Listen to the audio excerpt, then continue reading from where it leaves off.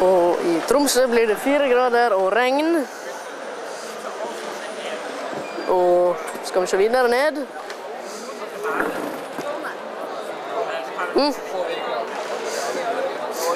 Trondheim blir det 12 grader med sol.